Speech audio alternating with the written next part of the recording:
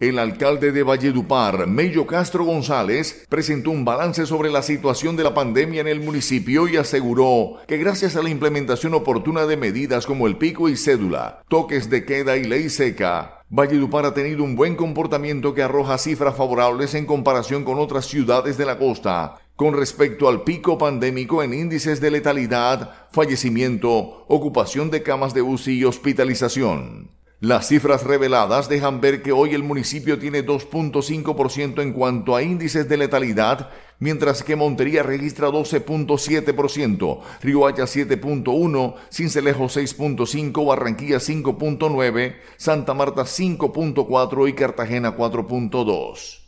La secretaria local de salud, Lina de Armas, dijo que a nivel de camas UCI se han pasado de 70% de ocupación a 60%, mientras que en hospitalización se registra un 70% de ocupación con pacientes que presentan el virus y pacientes sospechosos.